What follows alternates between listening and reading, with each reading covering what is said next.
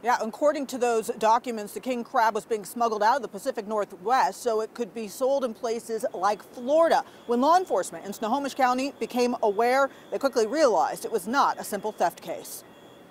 According to investigators, it was a sophisticated seafood scheme with a Florida man allegedly stealing hundreds of thousands of dollars worth of king crab. This was not a one-time thing. This was an ongoing conspiracy that involved multi-states and multiple, multiple jurisdictions and a lot of money. Robert Hammer with HSI says David Subil posed as multiple people claiming to represent Safeway grocery stores and emails where he placed purchase orders with the owner of a San Francisco seafood distributor.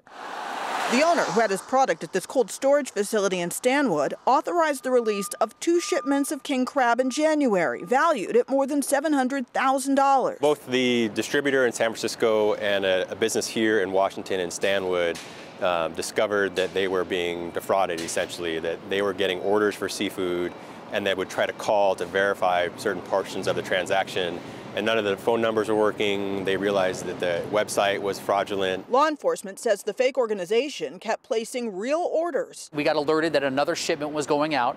And so when they came to pick it up this time, we actually used sham, uh, not real seafood, but fake seafood, uh, and a lot of ice to make it look like it was legitimate shipment with a tracking device. Investigators followed that shipment to Florida and Subil, who had been allegedly selling stolen seafood to other businesses. The boxes full of fake seafood and the tracking device were found dumped in Fort Lauderdale. Mr. Subil, once he figured out that the shipment was no good, uh, immediately tried to flee to Colombia. He says Subil booked a flight he was never able to get on because federal agents arrested him in Miami. Now, Subil is facing two counts of interstate transportation of stolen property. I did reach out to his attorney today, and I was told he has no comment about the case at this time. Live tonight in Seattle, Natalie Swaby, King 5 News.